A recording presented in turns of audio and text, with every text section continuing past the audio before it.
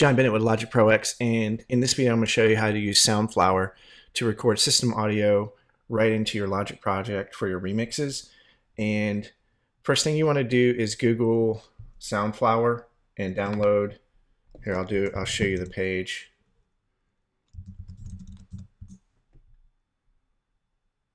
If you Google for Soundflower, it's this first one.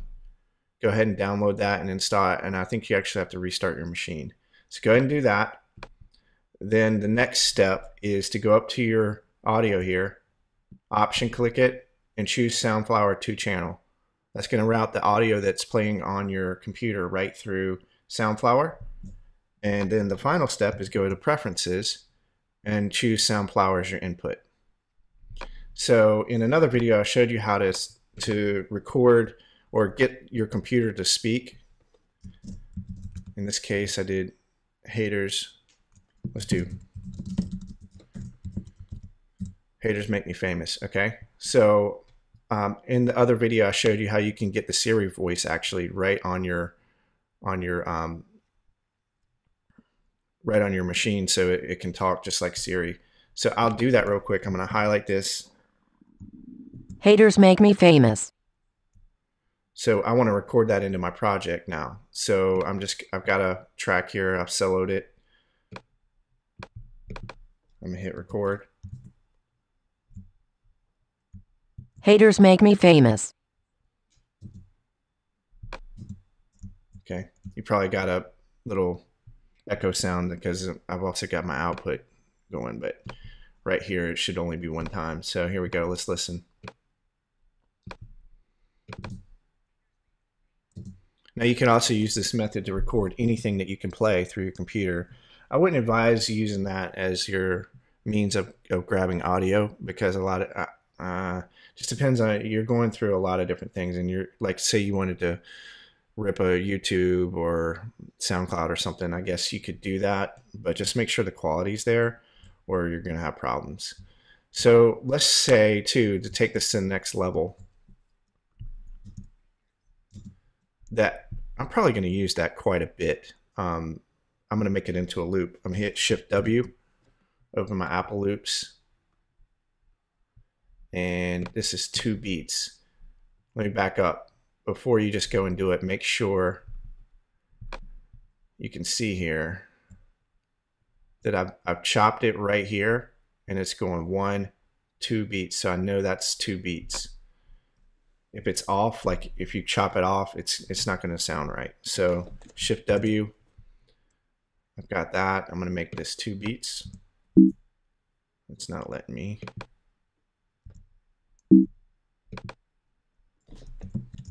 Okay, so when I first did it, I had a lot of silence on the beginning and end. So in order to just do this, I'm going to bounce it in place.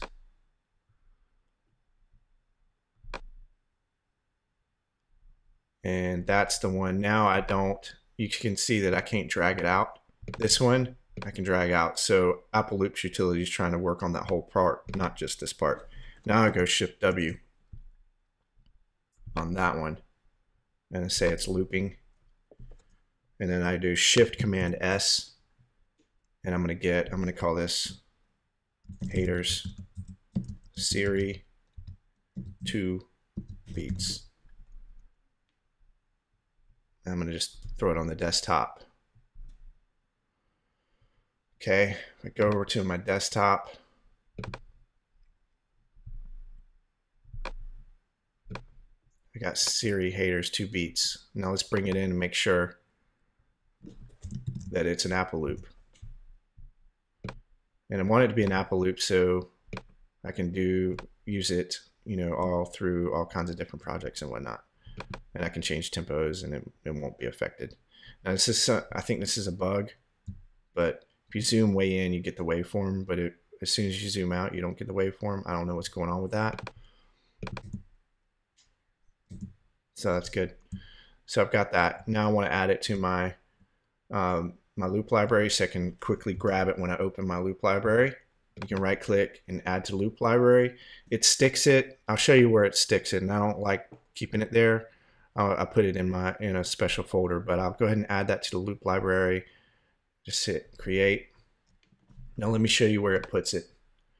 It puts it in library, audio, Apple loops, user loops, single files. I don't like that. So I'm actually going to, and it didn't save it as a AIFF, which is interesting. Probably because it's so short. I'm going to pull that from there and actually put it in vocals. Okay. And then go to here and reindex my loop library and it should be in this folder now. So I can use it over and over again. Hope you enjoyed that. For more detailed video tutorials and, and chance to work with me one-on-one and help you out with whatever you're needing help with, check out the website, logicprox.net. Go ahead and be a VIP member and let's let's get some killer remixes going. See you soon.